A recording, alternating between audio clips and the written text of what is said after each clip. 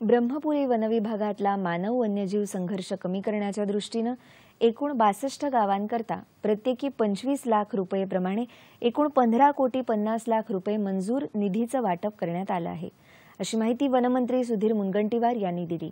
ब्रह्मपुरी वनविभागाचं क्षेत्र वनबहुल असून ताडोबा अंधारी व्याघ्र प्रकल्प या संरक्षित क्षेत्राच्या लगत आहे. त्यामुळे या क्षेत्रात सातत्यानं मानव वन्य प्राणी संघर्षाच्या घटना घडत आहेत.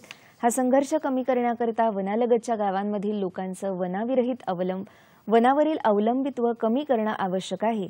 याकरता डॉक्टर श्यामाप्रसाद मुखर्जी जनवन विकास योजनेअंतर्गत भ्रमण मार्गातल्या गावांची निवड करण्यात आली आहे.